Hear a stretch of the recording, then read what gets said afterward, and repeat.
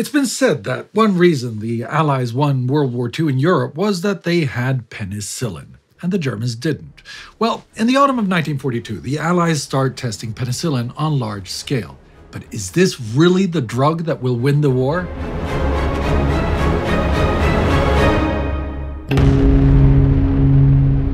I'm Spartacus Olsson. Welcome to a World War II in real time special, this time looking at the development of penicillin.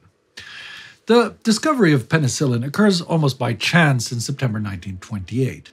Alexander Fleming, a professor of bacteriology, returns from a two week holiday to his workplace at St. Mary's Hospital in London. Known for his somewhat careless nature, he has left a petri dish containing a bacterial culture of Staphylococcus on his lab bench rather than in his rightful place in the incubator.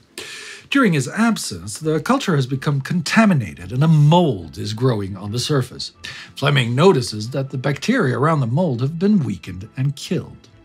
After further examinations, he determines that the mold, a strain of penicillium, secretes a liquid toxic to several strains of bacteria. He publishes his findings in June 1929 and successfully treats one of his lab staff for an eye infection in 1932. However, the time and effort needed to extract and purify usable amounts of the liquid limit its utility. In 1935, Harold Raistrick, a leading expert on bacteria and fungi, claims the production of penicillin for therapeutic purposes is almost impossible. And why should it be a priority to develop a new antibiotic when they already exist? These are known uh, collectively as the sulfa drugs, based on the compounds of sulfonamide and sulfanilamide. One of these drugs, Prontosil, achieves high profile success in 1936 when it is used to treat a serious throat infection in FDR's son, Franklin Delano Roosevelt Jr. And sulfa are a standard issue in most modern militaries. Wounded Germans are given sulfapyridine by mouth and sulfanilamide powder at the location of a wound. And the British War Office recommends that all wounds likely to become infected should be treated with sulfonamides for 48 hours. During the war, sulfa drugs will save huge numbers of servicemen and women and civilians on all sides. But they have some downsides. There's a chance of allergic reaction, they damage white blood cells over long term use, can cause blockage in the urinary tract, and oral administration frequently causes vomiting. In addition, because of such widespread use, bacteria are starting to become resistant. An Allied study carried out later in the war will estimate that 60% of cases of the sexually transmitted infection gonorrhea are resistant to sulfa. Moreover, resistance to one sulfa drug gives resistance to them all. So there is good reason to find new alternatives. In 1939, a team at the University of Oxford are given a grant of $25,000 from the Rockefeller Foundation in America to study the antibacterial action of molds. The team is led by Australian Howard Florey, who sees potential in Fleming's earlier work, and penicillium is a good starting point. He recruits the British scientist Norman Heatley and the German Jewish Ernst Chain, a refugee from the Nazis who had arrived in 1933. The Oxford team managed to perfect the purification and extraction of penicillin. The mold is grown in fermenting beakers, feeding on a liquid broth. It is into this broth which it releases its vital bacteria killing liquid. After a long process involving acids, crystallization, and granulation, Florey and his team refine the broth into powdered penicillin, which can be injected into a subject. Not yet pure enough for use in humans, the first tests are conducted on mice on the night of May 25, 1940. Eight are injected with Streptococcus bacteria, four receive penicillin, and four are untreated. By the early hours of the next morning, the untreated mice are dead. The next day, Florey comments that the results are quite promising. Chain is less reserved and proclaims it a miracle. After further tests on a range of animals, results are published in The Lancet in August. An article in The Lancet means that the news travels the medical world, including when German authorities learn of penicillin developments through an article in The Lancet that eventually makes its way to them via neutral Sweden. But so far, there is little military interest in the research. After all, these tests are limited to animal tests, and the method for extraction and purification is not yet scaled up.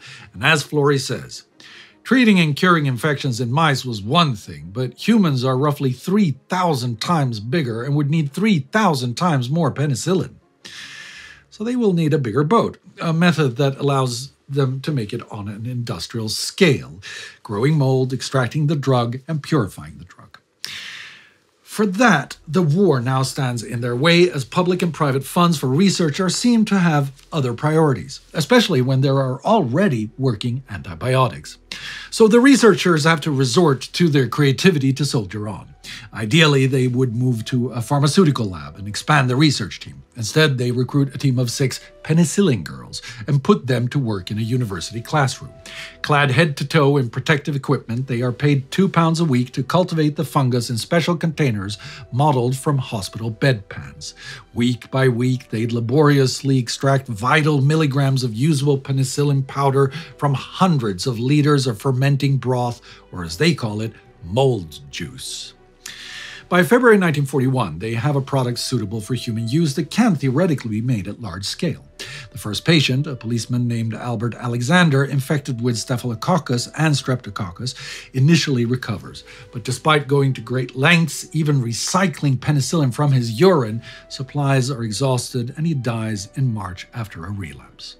However, four more patients with life threatening infections are treated over the next few months. Three survive, with one dying of an unrelated brain hemorrhage. In the meantime, the war rages on and on.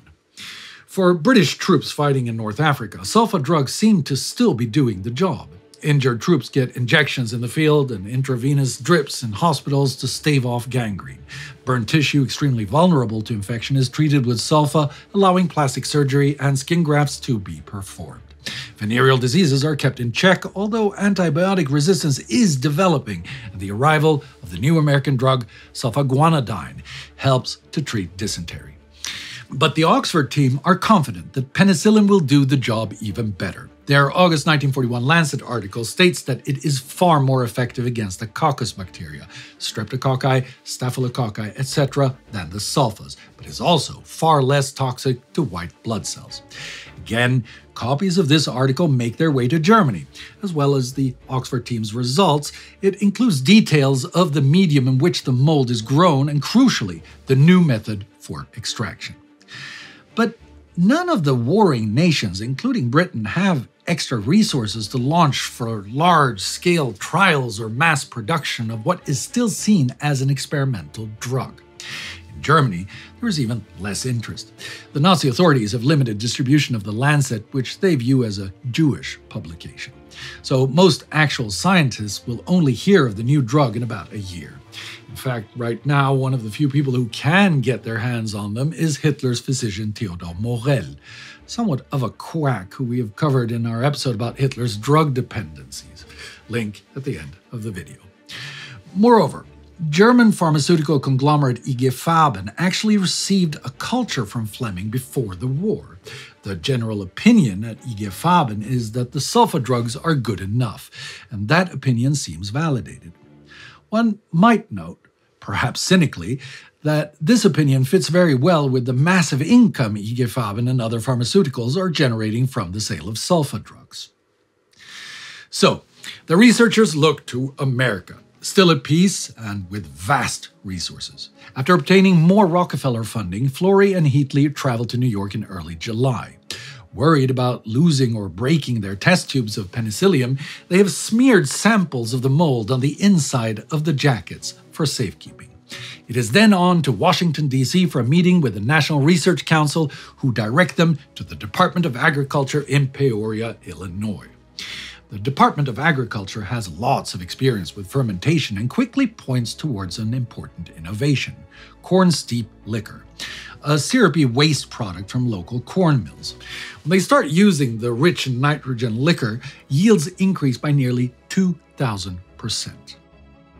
While the European belligerents are hard pressed or unable to see the potential benefits of a new, better antibiotic, the Americans are not. America's entry into the war now puts urgency into the research. Only 10 days after Pearl Harbor, a meeting is convened of the Committee on Medical Research, CMR, a subdivision of the Office of Scientific Research and Development, OSRD. Present are the heads and research directors of the pharmaceutical companies Merck, Pfizer, and Lederle. They, along with Eli Lilly, had been courted by Florey earlier in the year. At the time, they were concerned that the scaling up of the fermentation process was an issue, and the windfall of a new drug would be wiped out if a commercially viable synthetic form of penicillin came to market. Informed of the success of the cornstarch innovation and with the government promising substantial support, the pharmaceutical giants agreed to lend their weight. This is the beginning of a project that will eventually see 21 companies working together to develop the antibiotic at a total cost of about $14 million, around a quarter of a billion dollars in 2021. The resources of the big corporations yield fast improvements, especially on the industrialization of the process, but still, the challenges facing the coalition are huge, as John L. Smith, a chemist at Pfizer, puts it. The mold is as temperamental as an opera singer. The yields are low, the isolation is difficult, the extraction is murder, the purification invites disaster, and the assay is unsatisfactory. By June 1942, only enough penicillin has been produced under the OSRD to treat 11 patients. However, the Department of War pushes the project relentlessly, and large scale trials are soon planned for the following year. Around the same time, seeing potential problems with sulfa after all, the Germans at IG Farben also start looking into the drug. They quickly discover that the penicillium held by IG Farben is so old that it is no longer viable, though. Searching for alternatives, they look to the occupied countries. A culture held in Holland is found to be from a poor producing strain, and the Pasteur Institute in Paris and the University of Copenhagen cleverly ensure that their cultures stay out of German hands. Once the Germans do manage to find a usable strain, they are faced with the same challenges of low yields and with harvesting and purifying the mixture. Unlike the Americans, the German government do not devote significant resources of funding or manpower to the project until much later in the war. In 1942, IG Farben's facility in Frankfurt counts less than 10 employees on the job. They will not implement the industrial scale fermentation processes until 1944, so we'll be stuck with pathetically small quantities of penicillin until then. British intelligence even continue to permit press reporting on penicillin because they are so confident that the Germans will never catch up. But maybe there's another reason they don't censor news about the drug. Everyone understands that penicillin might save more lives, but sulfa is still doing at least part of that job. Sure, you might get some wounded back in action faster, but it's not turning around some of the wounded soldiers faster that will win the war. Not a wonder drug, but logistics, military strategy, and economic might is what they believe should be the main focus. That said, we shouldn't diminish the effect that the creation of penicillin will have.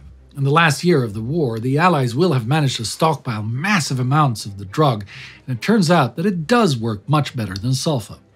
So, thanks to penicillin, tens of thousands of GIs and Tommies who would probably have died from infections will instead go home to their friends and families. But no, penicillin will not win the war. The impact will be too small for that and come at a time when things are decided anyway. It will, however, definitely save lives after the war, it will change human life forever. The most common cause of death before penicillin, even with sulfa, bacterial infection, will be treatable and most often survivable. At least until bacteria also start to develop resistance to penicillin. I mentioned Hitler's drug use. We also did a special about the wonder drug the German Wehrmacht used liberally to stay alert and fighting, especially at the beginning of the war, sometimes with catastrophic effects methamphetamine.